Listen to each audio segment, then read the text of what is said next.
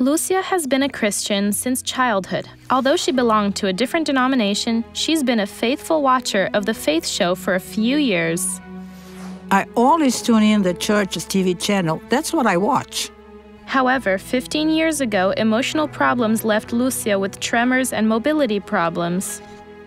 I started to get crooked and to have severe head tremors. I was like this all the time. Her leg would shake so much I'd even be embarrassed around people, so I'd ask her to sit down. I would shake all the time, and so did my legs.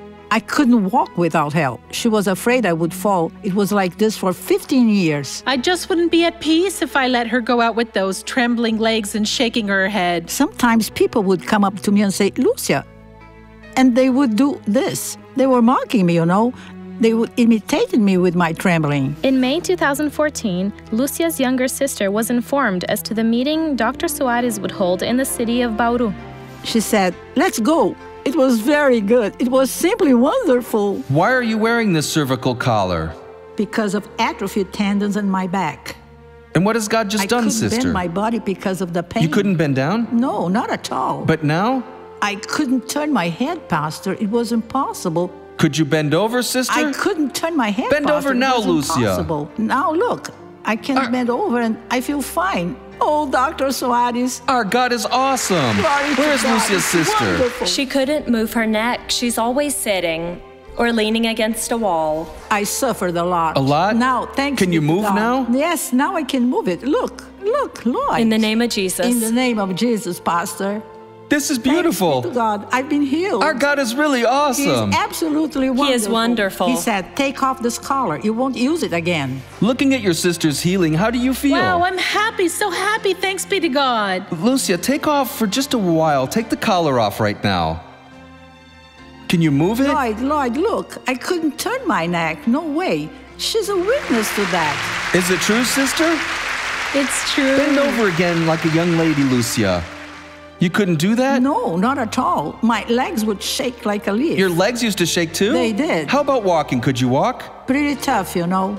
You couldn't walk before. Well, how I did was you walk? Shaking all the time, you know, Pastor. You so shook like that, Lucy. I did. So walk normally in the name of Jesus. Look at her walking, brethren. Our God is awesome. When she came down, she wasn't the same Lucia with that stiff neck she had before. I came without that collar. I haven't used it anymore. Now she's fine. Her legs don't shake. Her speech has improved. I couldn't turn my neck. Now I can turn it to the left. Now she can even do the dishes for me. She did them for me last week. Everybody who sees me says, Lucia, you look so beautiful. You're not shaking anymore, Lucia. Now I even go to the supermarket, you know? Yes. Now I run some errands for her. I pay the bills for her and I also go grocery shopping.